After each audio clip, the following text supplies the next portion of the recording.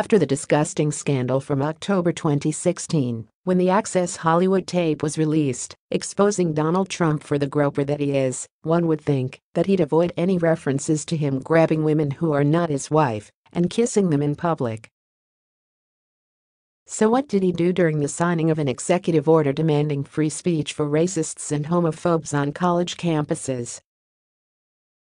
He grabbed a blonde Ivanka look-alike college student and kissed her in public. Twitter could not have been any more grossed out. It's not as if the young woman had much of an opportunity to say no. What does one do during a public event in the biggest of national spotlights when a groper in chief grabs and kisses you in front of a group of people and an entire press pool? The executive order Trump signed was no less disgusting. After college students across the country have made it clear that they're not interested in the rhetoric of racists and transphobes like Milo Yiannopoulos and Ben Shapiro. Trump insists that they must be allowed to speak on college campuses, places where respect and acceptance for marginalized communities are encouraged and practiced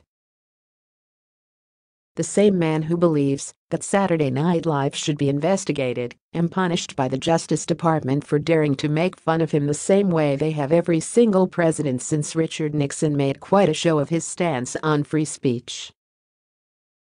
Of course, he also made a show of being a lecherous, disgusting old man